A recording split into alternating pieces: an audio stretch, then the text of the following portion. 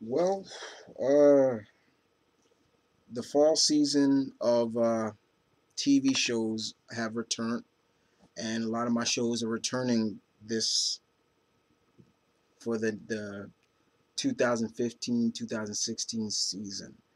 And I'm gonna try to do my best to give my thoughts on some pilot episodes, especially the new shows. You'll definitely see uh, pilot episodes on Blind Spot, uh, Limitless, um, well, of course, Supergirl when that comes out, and certain other aspects. But I'm here to talk about another show. Uh, as a child, guys, I was a huge fan of the Muppets. Still am to this day. Uh, they still can make me laugh and still get a good entertainment out of these characters. These beloved characters created by Jim Henson. And recently, as you all know, uh, Tuesday was the premiere of the new Muppet Show. And this is my thoughts on it. I gotta say, this was very entertaining. It's very funny. I liked it very much. Um, I like the concept of how they do this now. It goes about doing it like there's like a, it's almost like a documentary now in terms of, you know, everybody gets a chance to talk with like the camera crew, which which was really funny. It was it, that was really funny. Um, there's some big big moments. Well, I should say some big spots in this show that actually is pretty funny. Um, and I'm gonna talk about those as well. First of all, Fozzie has a girlfriend, which is really funny. and um, they play that up really funny. It's like you know Fozzie's scared to meet his girlfriend's parents. I think we all, you know, guys, we all can kind of go feel that way. Uh, who had that kind of, as you know, that fear meeting the parents. Um, and I loved how you know they're they're kind of playing on that he's a bear and you know they're eating salmon and they're like so how do you like the salmon? He's like it's very good. And you know i i would have left it out you know because i know you you know you guys eat it raw and it was really funny. And then the dad was like oh what if they have kids? How are they gonna have kids? What are, are they gonna live out in a, in a house or they're gonna live in the woods? I was like oh my god but it was funny. Um we get to see the breakup actually in this episode. Uh, what is the what has Piggy and Kermit break up? You know, um, you know this kind of relationship they've been together for God knows how long. Um, it was never kind of really said if they were a couple. It's like it kind of felt like to me it felt more like it never really was really official if they were a couple. I mean, the movies showcase they did get married in one, you know, and then I'm like, okay, are they really a couple or not? I mean, but you could clearly see that Piggy was the aggressor in that. Like she was almost the dominant, you know, of that relationship. And we get to see like almost that kind of is the breaking point for Kermit. It's like, you know, I can't do with this anymore.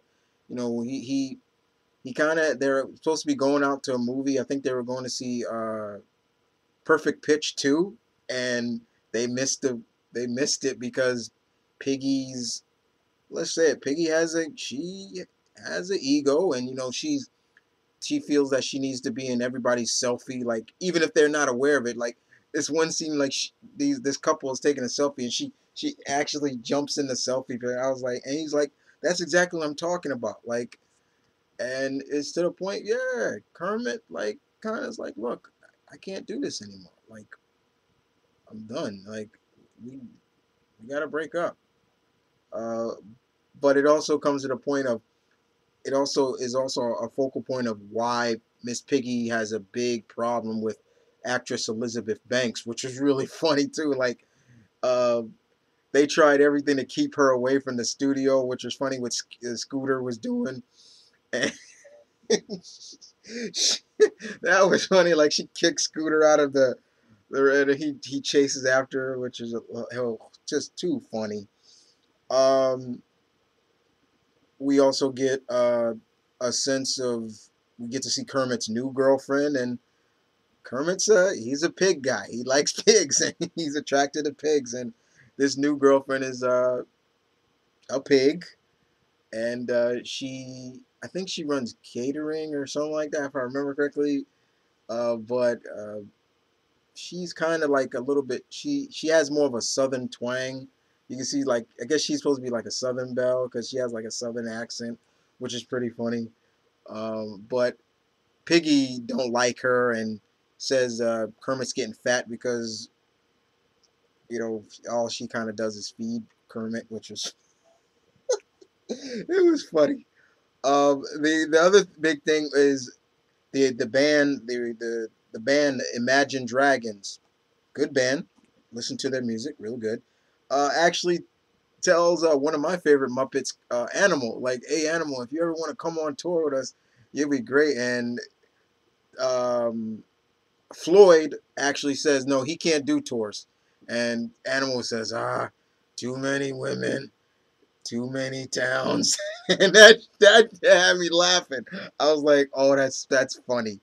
Uh, so it kind of says why Animal doesn't go on tour. Like Animal's a good drummer, but he can't do tours. He can't do road tours, and uh, that that was funny. All all this series, this this was a good start to a can I say quote unquote a reboot or a retelling or a remake of the Muppet Show or just just a just a, a next version of the the Muppet Show. And you know, I've already heard, you know, people are boycotting this because it's a little bit perverted. I'm like I didn't necessarily see what was so perverted about it. You know, uh,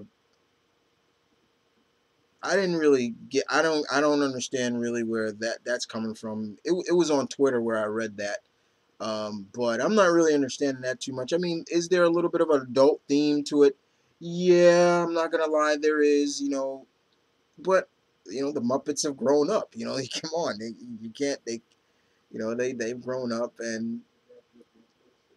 You know, that, but you know, I guess you know there's some people that you know want them to be the lovable Muppets they've been since the 19 what 70s, you know, 60s or so. But you know, it's it's still there, guys. It's still there, but it's just now that they're on prime time, eight o'clock now, depending on where you are. There is a part of it like that shows you still can have your funniness and the lovable side of what the what what makes the Muppets who they are but then you have another side of them that showcases, yeah, they they're we're kind of grown now. We're, we're gonna hit you with a little bit of some things that are a little bit of adult theme, but still keep it to a point of kids can watch it and not really get too like, oh hey, what what was that? What did that mean or anything like that. Uh, but bottom line, yeah, the I will continue to watch this. Um, um, glad to see that you know this is they're giving another shot to the Muppets. Uh, the, the, beloved characters they are.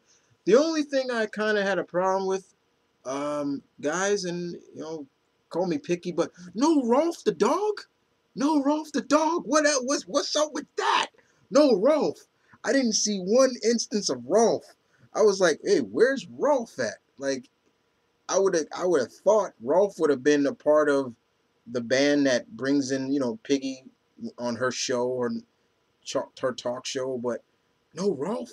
Better have Rowlf on the show. You can't have Rowlf the dog, man. That's that was my dude too. To play a mean on the on the on the piano, man. It was I I have my favorite Muppets, and Rowlf was one of them. Rowlf and no Rowlf the dog. I was a little bit like, hey, where's Rowlf? You know, everybody else is there, but no Rowlf. I was a little bit like, eh, mm, no Rowlf. But you know, it, it, was still good. But I, I get a I, I got a kick out of Fozzie having a girlfriend now. That and yeah, she's human, and you know, the parents don't like him, but his her girlfriend his girlfriend's more like, you know, I don't care what they think. You know, I'm gonna, we're gonna be together. And he's he's like, cause I, she says the L word to him, and he says, you know, that doesn't do nothing for me. I got to get them to like me. I thought that was funny. But overall, if I was to give this a rating out of 10, I'm going to go a 8.5. You know, that was, it was good. Um, looking forward to see where this goes and uh, hopefully it stays around a good while to uh, for a new generation that never grew up with the Muppets like my generation did or our parents' generation, you know. You know, so it's, it's it was good. I enjoyed it very much. Uh, but other than that, guys, you guys, if you have watched the the first episode of the new Muppet Show, tell me what you think, thought about it in the comment section below, as always. And uh, this is Mount Vernon Kid saying peace, one love, stay tuned for real, guys. I will see you guys next time with some more. Stay tuned for the other re reviews coming up soon uh, when I finish watching them. They're all on my DVR. I just got to watch them.